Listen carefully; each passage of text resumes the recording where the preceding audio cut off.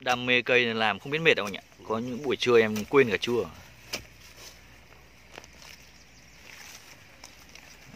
Bầu ngon lành.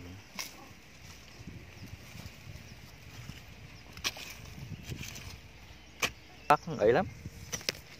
Cái phòng ấy là ốm đau bệnh tật nhiều bác.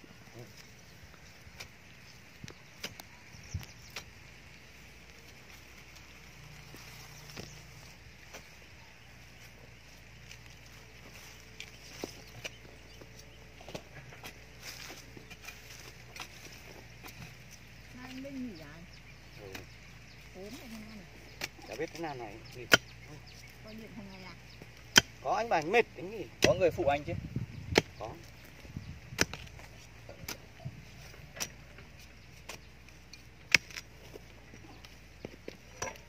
Không thể nào đúng gì đến đạp cái đông.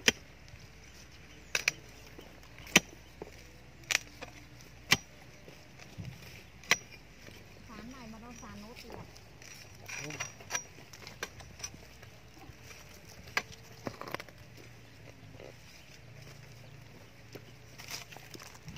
trong một cái lô mộc đấy để à mà nằm đẹp quá mùi mát trơn Cái lô mộc mạ ở nhà là hết sạch chị.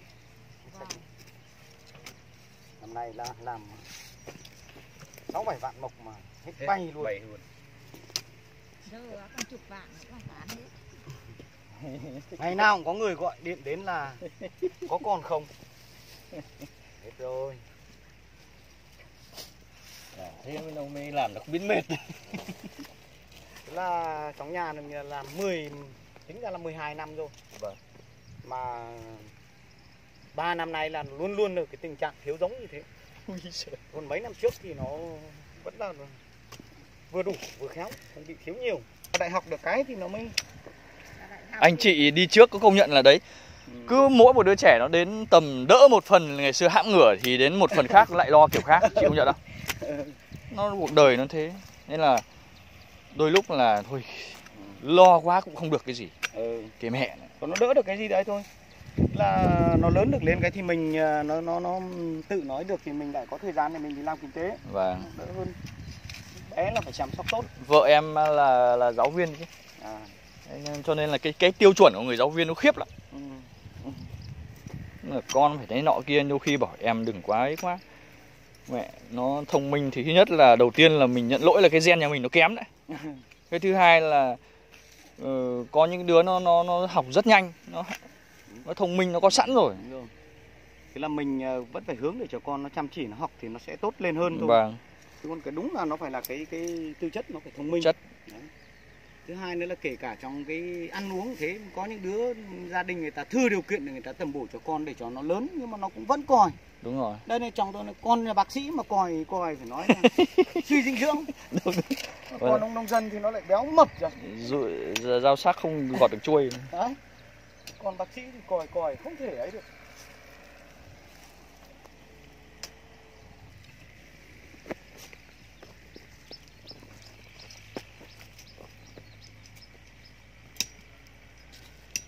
Sắc không gọt được chuối.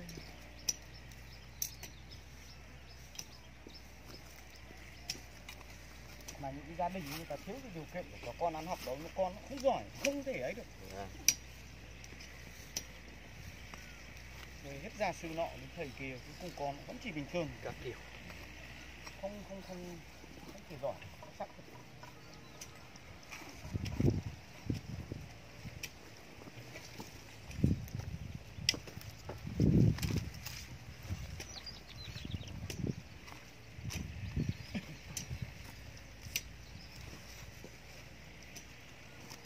Anh Quảng ơi, ở ngoài kia nó đang kéo cái dây điện gì mà to thế anh làm- À thế, chiếc dây điện bằng cái tay anh ạ. Chắc là kéo ba pha. Nó kéo cái cái mất tiền à? Thì nó đầu tư có dịch vụ đấy chị ạ. Nhà em cũng làm ba pha rồi. Đấu những cái dây thì xả nó mất thì mình mất mình mất nếu mà mua theo ví dụ nhá. Theo ví dụ xã thì họ đặt cột cho mình rồi thì không nói. Nhưng mà ví dụ mình chạy đường riêng ấy là mình phải bỏ tiền. Ờ, dây rồi cột của mình tất. Đấy. còn nó nó chỉ có từ chỗ đường chính của nó ra thôi. Vâng. Anh tính là lãi bao nhiêu? Đó nó cho cái thằng ở xóm. Liều. Mẹ thế mới liều. Liều chúng nó tính thế nào? Mẹ Đi vay lãi chứ. Để làm doanh nghiệp lại đi vay bọn đấy thì chết. Vay à, vay bây giờ thì vay vay ngân hàng đã là chết rồi. Cũng Đã chết rồi. Cũng doanh nghiệp đăng ký đấy ngân hàng đã là chết rồi lại còn đi vay lãi cho bọn này. Cao đi không biết gì đỡ được. Đỡ làm sao được? Đất mất nhà là cái chuỗi này. thế là bọn ấy là 100 triệu là nó 13 triệu một tháng đúng không? Đấy. Thì vay thế thì chống thế nào trăm triệu mình gửi ở trên ngân hàng là được có mỗi tháng mới được có 400 nghìn đúng không? Ừ. bốn năm trăm nghìn mà đây nó tận 13 triệu tháng anh làm cái gì để Làm gì ra? kiện mà chả được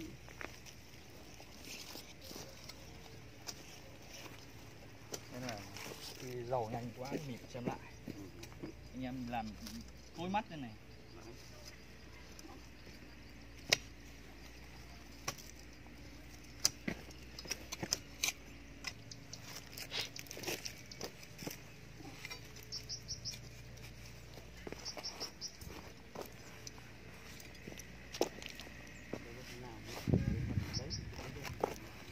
Anh nói thằng nó thịt mưa ờ thắng thắng Ừ, ừ.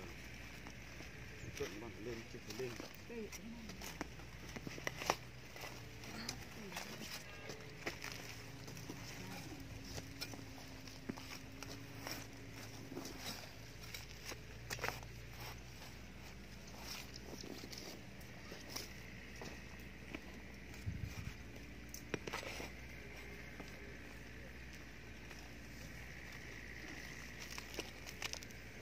Ba mốt ba hai cây thôi.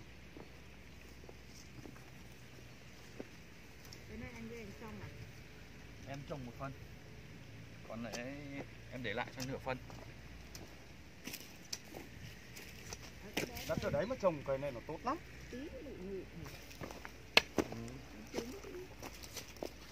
cái chỉ có cái thân lá nó xanh Và Để cây nhai này cây cây cây, cây nhai mấy cây mộc này là hòa mới lại ấy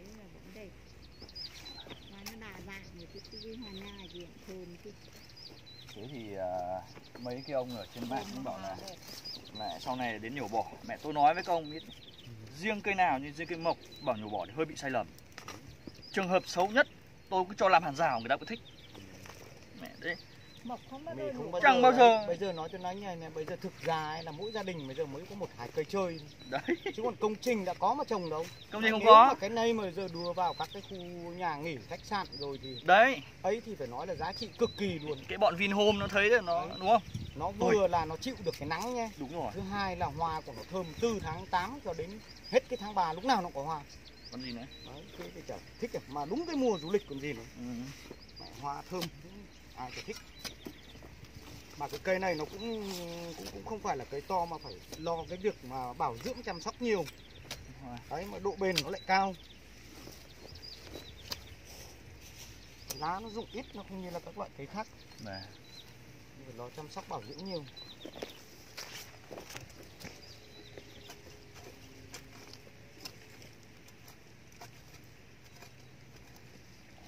ngày xưa mà có cái thời trồng cái cây cầu vua mới là cái cây xài sách. Xài sách nhỉ? Cởi ý thì đau đớn đầu lắm đấy. Cây mẹ cha